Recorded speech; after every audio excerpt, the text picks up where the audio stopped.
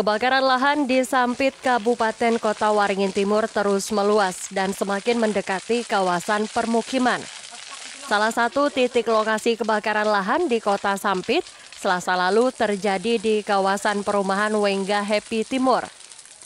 Lokasi kebakaran yang sangat dekat dengan bangunan rumah membuat warga sekitar panik.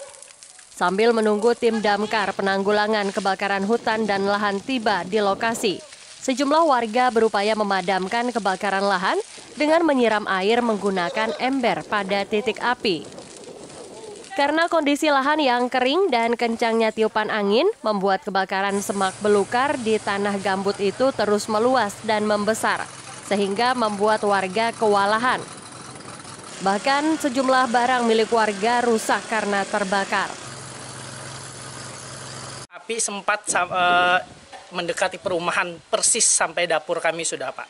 Itu sudah melelehkan beberapa uh, pipa seperti yang ada di dapur segala sudah kena Pak. Sebelum petugas datang tadi apa saja yang, yang dilakukan, Pak? Yang kami lakukan itu uh, memadamkan dengan alat seadanya, dengan air secukup-cukupnya itu aja karena kami tidak, sudah tidak ada daya lagi, Pak, karena memadamkan api yang sangat luar biasa besar bagi kami ini dan kami sekarang khawatir sekali karena api semakin membesar saat ini, Pak.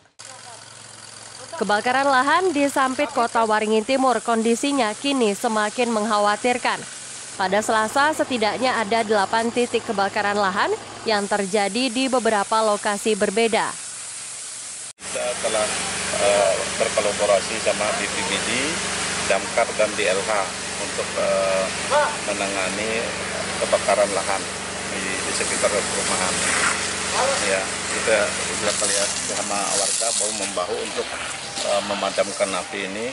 Nah, api ini rupanya ini udah terlalu besar sekali nih perlu penanganan yang serius kita untuk uh, uh, menangani kebakaran lahan ini baik dari masyarakat nanti kami minta juga uh, ikut serta kita bahu membahu untuk memadamkan api ini.